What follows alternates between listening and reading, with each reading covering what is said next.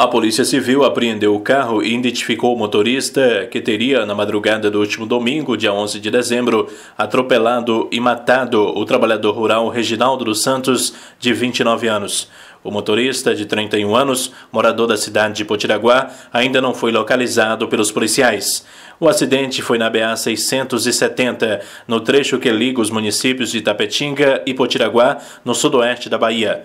A Polícia Civil de Tapetinga, sob o comando do delegado Roberto Júnior, localizou e apreendeu o carro numa oficina do bairro Quintas do Morumbi nesta terça-feira, dia 13 de dezembro.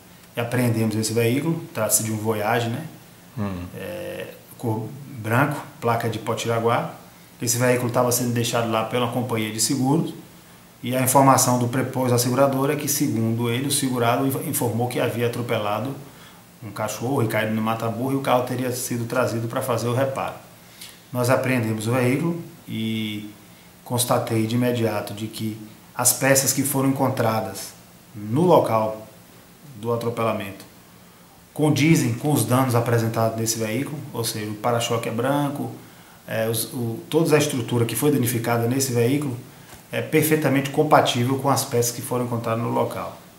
Encontramos também vestígios de sangue na parte do assoalho, na parte inferior do veículo. E os indícios é de que esse carro tenha sido realmente o carro que atropelou e matou o Reginaldo dos Santos. O carro passou por perícia e o laudo pericial vai constatar se as peças encontradas são realmente do veículo que atropelou e matou o trabalhador rural na madrugada de domingo. O motorista responderá por dois crimes previstos no Código de Trânsito Brasileiro. O condutor responderá por homicídio culposo, a princípio, né? Uhum. não há intenção de matar, e a omissão de socorro, porque não socorreu a vítima.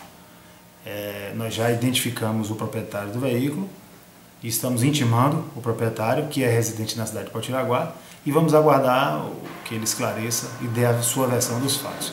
Reginaldo morava com o irmão em um casembre existente às margens da pista, próximo à ponte do Rio Pardo, e foi atropelado e morto quando tentava atravessar a rodovia. O corpo dele foi arrastado por 19 metros, segundo a polícia técnica.